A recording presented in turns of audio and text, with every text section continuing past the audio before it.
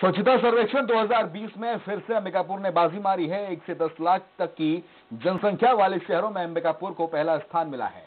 Virtual platform में देश के प्रधानमंत्री नरेंद्र मोदी ने स्वच्छता सर्वेक्षण 2020 के परिणामों की घोषणा की है।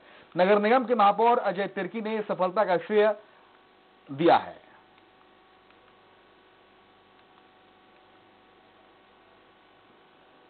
ये भी आज का दिन बहुत ऐतिहासिक है। कि पूरे देश में जब रेटिंग हो रहा था तो स्वच्छता को लेकर के तो फाइव स्टार मिला है।